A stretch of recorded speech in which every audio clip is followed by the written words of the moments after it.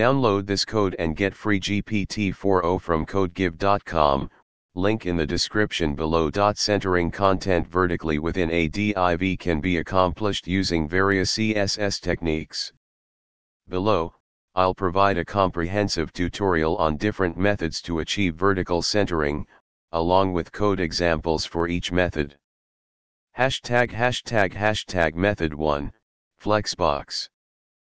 Flexbox is one of the most straightforward ways to center content both vertically and horizontally within a container.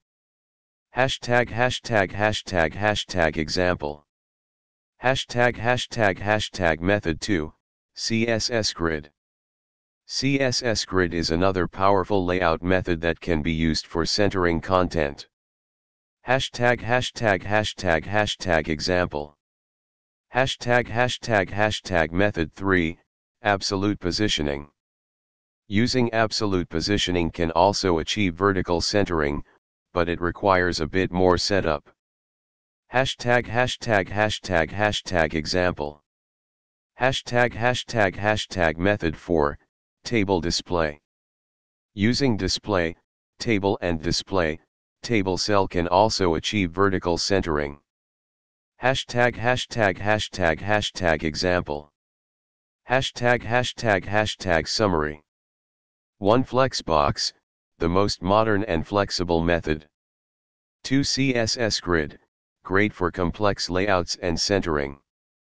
3 Absolute positioning, useful but requires careful height management.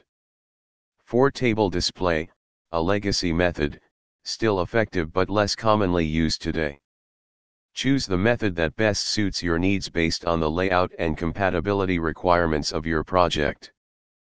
Flexbox and CSS Grid are generally recommended for new projects due to their versatility and ease of use. Centering content vertically within a div can be accomplished using several CSS techniques. Below, I will cover three common methods, using Flexbox, CSS Grid, and traditional CSS with positioning. Each method has its own advantages and use cases. Hashtag hashtag hashtag method 1, using Flexbox. Flexbox is a modern CSS layout model that provides an efficient way to lay out, align, and distribute space among items in a container. Here's how to center content vertically using Flexbox.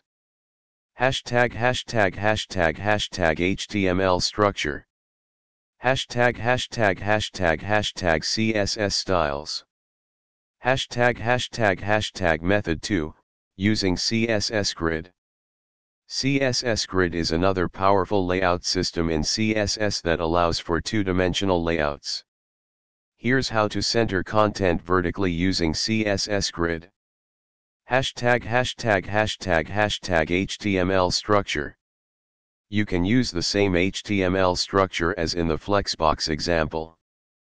Hashtag hashtag hashtag hashtag CSS styles. Hashtag hashtag hashtag method 3, using positioning and transform. This method uses absolute positioning and CSS transforms to center the content. Hashtag hashtag hashtag hashtag HTML structure. Again, you can use the same HTML structure. Hashtag hashtag hashtag hashtag CSS styles. Hashtag hashtag hashtag conclusion. Each of these methods can be used to center content vertically within a div. The choice of method often depends on the specific requirements of your layout and browser compatibility. Flexbox is widely supported and great for one-dimensional layouts. CSS Grid is powerful for two-dimensional layouts but may not be necessary for simple centering tasks. Positioning and transform is a traditional method that works well but requires more code and can be less responsive. Feel free to experiment with each method to see which one fits your project needs best.